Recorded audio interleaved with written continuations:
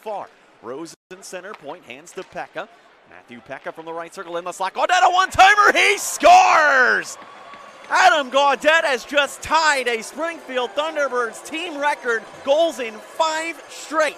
And Gaudette has the AHL goal scoring lead to himself. Number six makes it 1 0 T Birds at 9.56 of the first.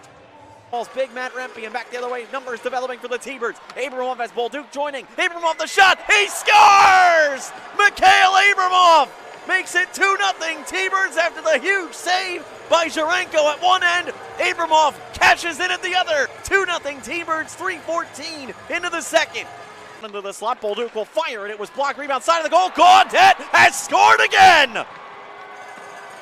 Number seven for Gaudette, a tap-in on the near pipe. You can't be more on fire than this guy.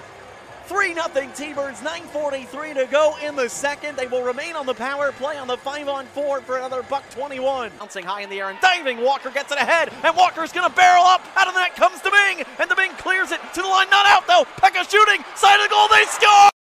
Walker taps it home! Off the feed from Peca. The go for broke Gamble bites Domingue in the face, and the T-Birds lead 4 to 1. Ferrier got a stick on it to knock it free, and McGing is tripped up in center. McGing will lead for LaFerriere, and LaFerriere misses the empty net, gets it in from MacEachern, he scores!